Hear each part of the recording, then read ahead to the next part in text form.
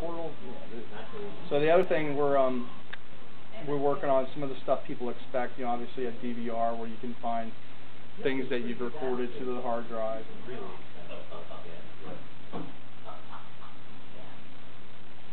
And that, or maybe maybe home videos, things you shot, you boot to the thing through your thumb drive or through um, over the network, things like that.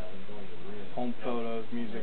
That's stuff that hasn't been implemented yet. We're still working on that stuff from a security standpoint primarily. But obviously some of the things that people are concerned about, particularly this show and with the release of Avatar, is 3D television. And so now we're working on a 3D interface for 3D TV. Now you can put on your glasses. And so a lot of the focus